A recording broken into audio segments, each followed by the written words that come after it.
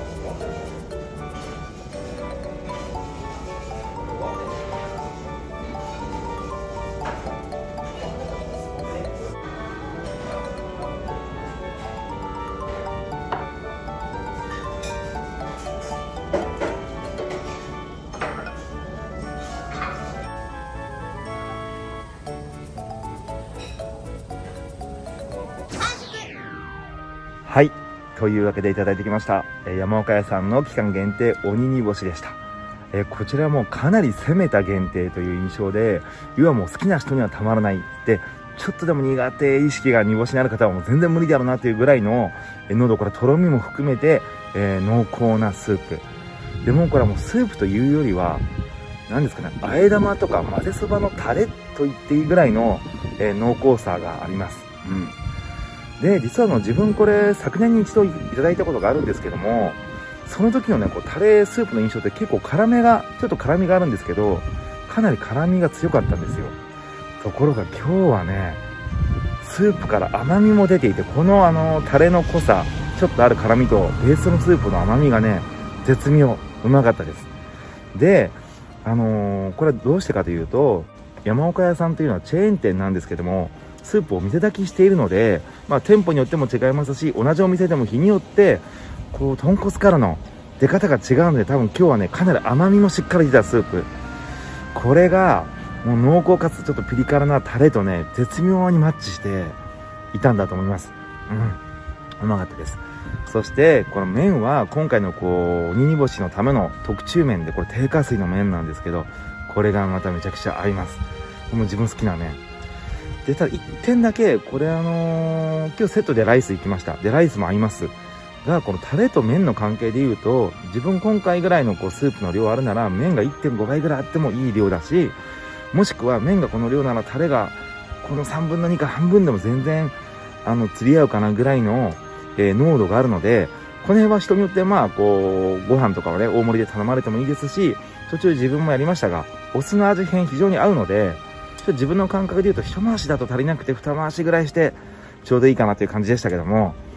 こんな味変なんかも使いながら、えー、自分好みのアレンジ見つけてください。いずれにしてもこう濃厚煮干し好きな方はね、一度食べられてみてはいかがでしょうか。驚くと思います。ここまでご視聴ありがとうございました。ではまた。